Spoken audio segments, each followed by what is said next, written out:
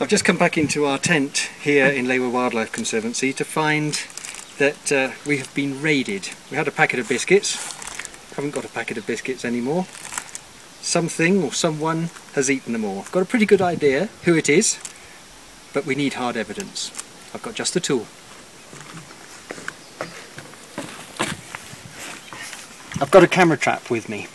Uh, it will switch on, it'll trigger and video anything or anyone that moves out here. I'm going to set it up on the veranda, pointing back at the tent, and hopefully we can gather some hard evidence. Hmm, looks like someone's been here.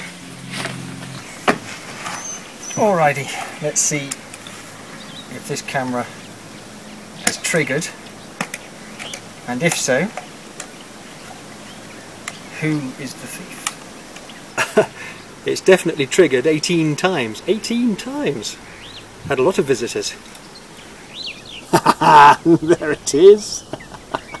Just as I thought. Sneaky monkeys! Vervet monkeys. And there he is! Look at that! Pulling the velcro back and sneaking into the tent. They're clever. Just goes to show, don't leave any food in your tent.